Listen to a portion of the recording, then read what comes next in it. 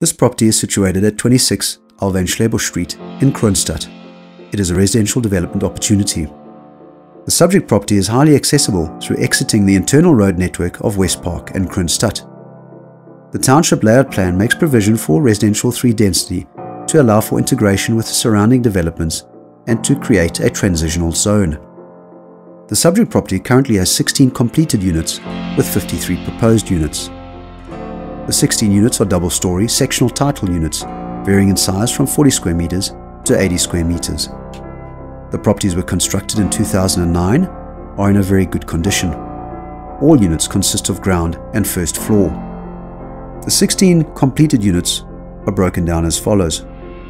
There are 8 one bedroom units of 40 square meters each, 6 two bedroom units of 60 square meters each, 2 units having 2 bedrooms and a garage of 80 square meters each, and there are further 6 garages available, each being of 18 square meters.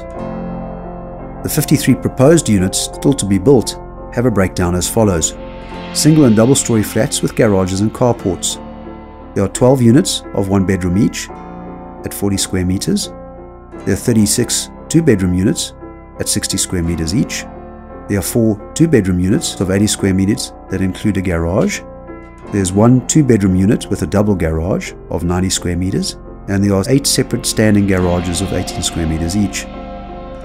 Fixtures of the 16 completed units include exterior walls, which are face brick and finished with portions, interior walls that have a plastered finish, a galvanized sheet metal roof, gypsum board ceiling, ceramic floor tiles in the kitchen and bathroom areas for floor covering, with carpeting to all bedrooms, the windows are a standard steel frame finished with a PVA paint. The interior doors are masonite finished. The exterior doors are solid fire doors. The property falls within the jurisdiction of Moqhaka local municipality and is governed by their town planning scheme.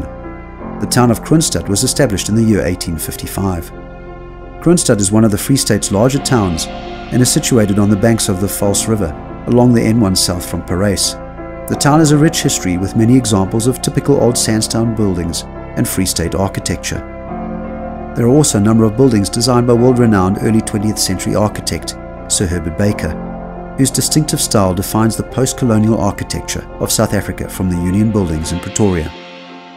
Kroonstad is situated approximately between Johannesburg and Bloemfontein and is primarily driven by the public sector, the provincial hospital, major correctional services, the military base, and the mines in and around Kroonstad.